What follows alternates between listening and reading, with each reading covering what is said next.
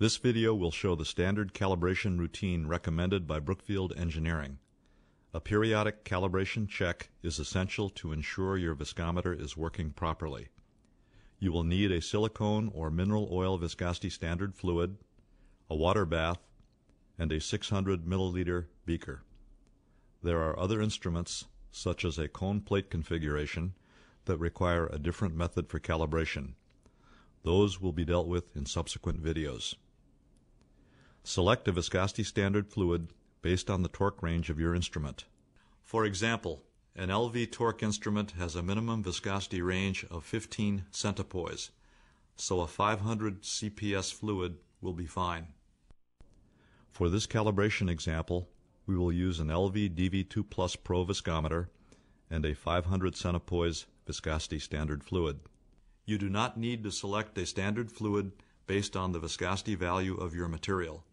However, many customers choose to do so as a simple verification. The calibration routine checks the linearity of the spring on the instrument by using one fluid at three separate speeds to achieve low, medium, and high torque ranges. This checks the linearity of the spring and the sensing mechanism of the instrument. Use the actual value of the fluid, not the stated value, for the calibration check. Make sure the instrument is level. The viscosity standard fluid needs to be equilibrated at 25 degrees Celsius to get an accurate reading. Fill the 600 milliliter beaker with the viscosity standard fluid and place this in the water bath. Select the spindle you will be using to run the calibration check. Remember, with an LV or RV number 1 or number 2 spindle, you will need to use the guard leg to get accurate readings.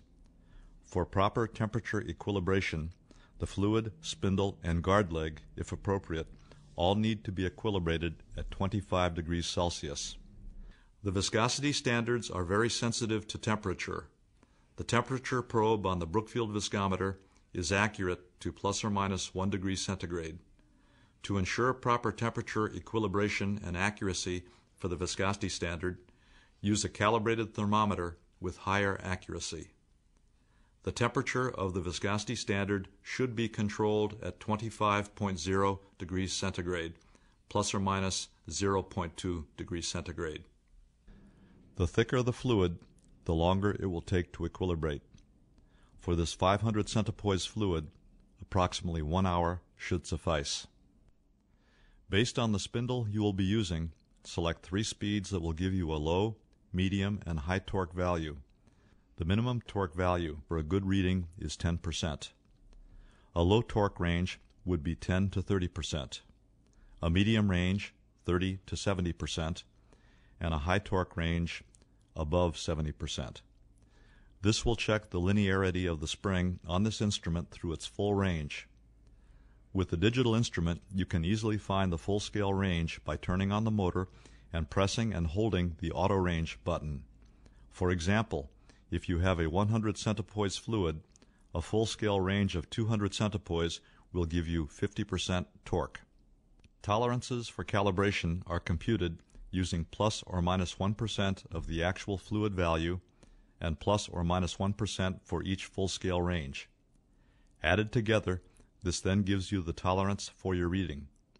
You can perform a calibration check manually and enter the values and compute the tolerances for pass-fail criteria.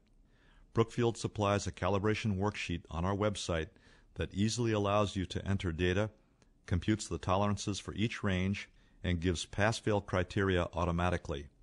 You can download the calibration worksheet from Brookfield's website at www.brookfieldengineering.com. Going to the link on your screen will take you directly to the calibration worksheet. To see what these tolerances mean, let's look at this calibration worksheet. Enter data in the bold fields. First, enter the spring torque of your instrument. In this case, this will be an LV. Enter the actual value of the fluid in column A. The remaining fields in this column will automatically update as this value will not change. You can see the 1% fluid value column will update based on this entry. This is the accuracy of the fluid. Enter the spindle code in column D. Again, the fields in this column will automatically update. Enter the three speeds you will be running in column E and observe the 1% full-scale range in column G is updated.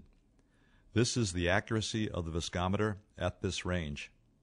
Now, run the three speeds you have selected. Record and enter the data in column I.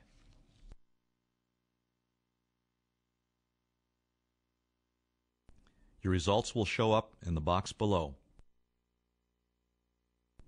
The low limit tolerance is column A, the actual fluid value, minus column B plus G, which is the 1% value of the fluid, plus the 1% value of the full scale range.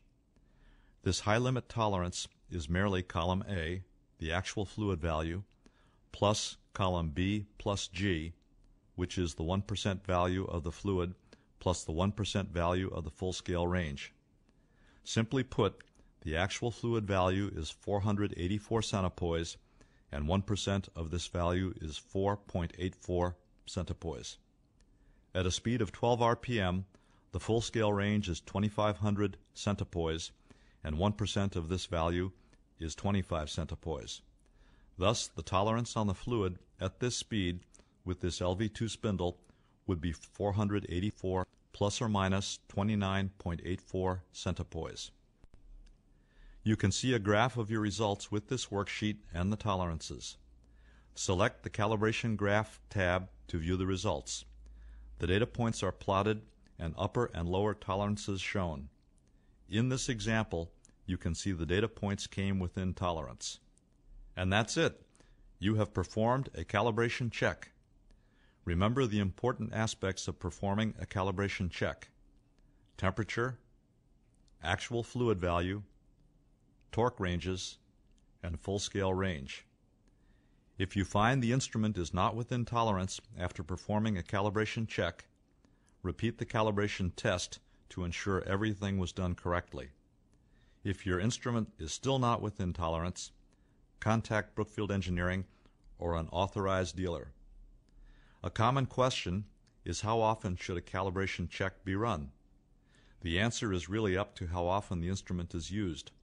For example, if an instrument is being heavily used, say on multiple shifts, a daily calibration would ensure accuracy.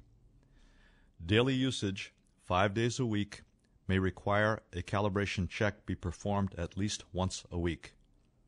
For instruments used less frequently, perhaps once a month or once every few months will be fine.